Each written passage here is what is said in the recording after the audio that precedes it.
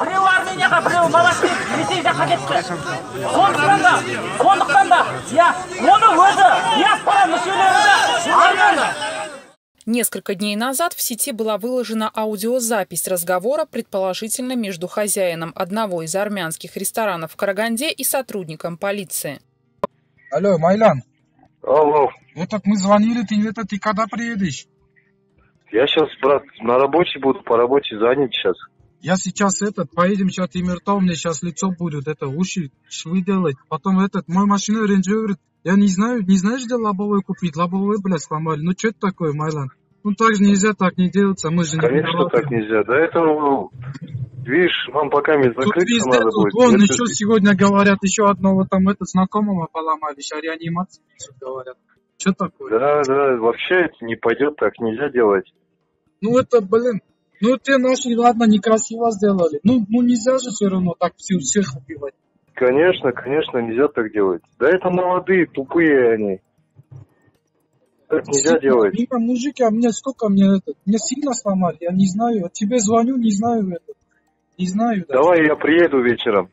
Чё, ну а чё, Вечером. не знаю, приедешь. а. Они это, говорят, сожгем Цартигран, если закроешь, что закрывать или зажигать, не знаю. Закройтесь пока, лучше не стоит. Или вообще этот, вызовите ОМОН. ОМОН вызовите, пускай оцепление делают. Потом от них толку будет, они два дня, три дня Конечно. будут, потом уйдут. Да. Деньги давайте им, деньги давай лучше им. деньги Пускай они стоят. Конечно, я вот даже приду, они вместе, этот, меня с вами конкретно в одну лунку загонят. Ну я тебе давай ты 500 дам, ты скажи, чтоб не сжигали Цартигран. Я туда душу вклал, я не могу, чтобы они без нее остались. Хотя бы.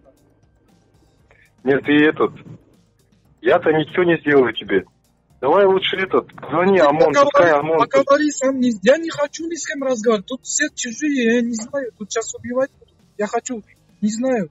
Если ты поможешь, помоги. Если нет, то я поеду. Ну и нахуй. Пускай тягают на.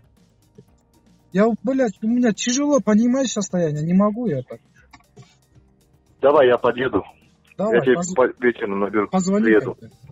Давай. Теперь давайте зададимся вопросом, кто же записывал разговор между этими людьми. Если это действительно голос хозяина ресторана, в таком случае зачем ему записывать такой разговор, да еще и выкладывать в сеть? В разговоре речь идет о деньгах, о плате за услуги полицейских, то есть о взятке. Огласка такого разговора, если он действительно состоялся, не в интересах ни хозяина кафе, ни тем более полицейского, который таким образом подводит себя под уголовную статью. Это значит, что разговор записывался третьей стороной,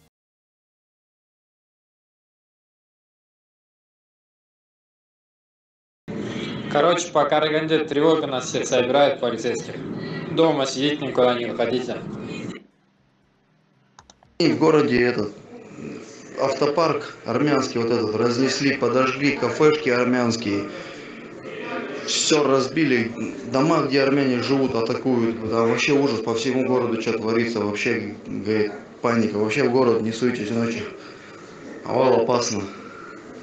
Эти записи были распространены в сети буквально вчера, после завершения мирного митинга в Караганде. Как видите, снова сотрудник полиции неизвестное лицо наводят жути на жителей города, рассказывают о каких-то жутких армянских погромах в Караганде. Погромы оказались выдумкой, точнее, провокацией.